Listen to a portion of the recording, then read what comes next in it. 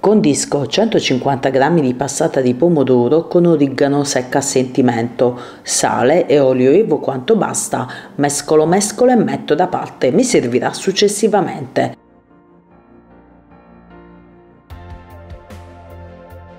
Sistemo su una teglia foderata con carta forno le fette di pancarré, le affianco per bene e ricopro tutta la teglia.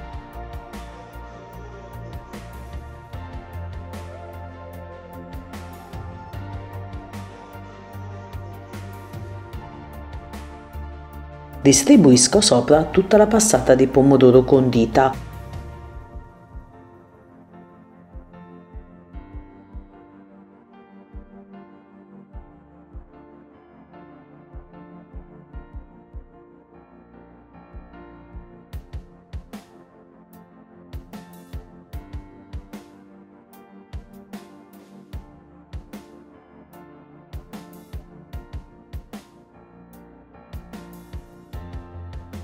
Sistemo 150 g di fette di prosciutto cotto.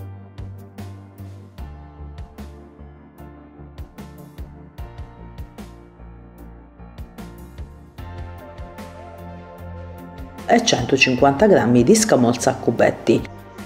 Infine aggiungo le fette di provola.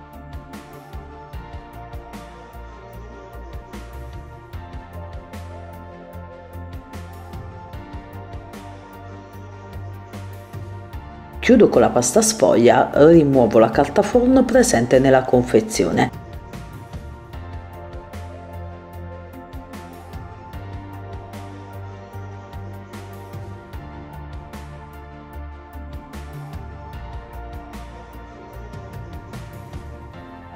Sigillo per bene i bordi e bucarello la superficie. Poi spennello la superficie con un filino di olio.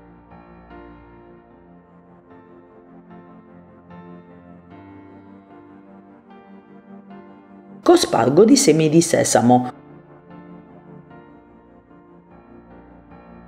Inforno e lascio cuocere in forno già caldo e statico a 200 gradi per circa 30-35 minuti o fino a quando la superficie risulterà bella dorata. Ed ecco a voi miei carissimi amici la pizza parigina furba. Prima di portarla in tavola l'ho lasciata intiepidire per 5 minuti. Veloce, facile e tanto friabile. Con poco impegno e poco tempo possiamo realizzare un rustico di pasta sfoglia ideale per antipasti aperitivo, semplicemente un salvacena.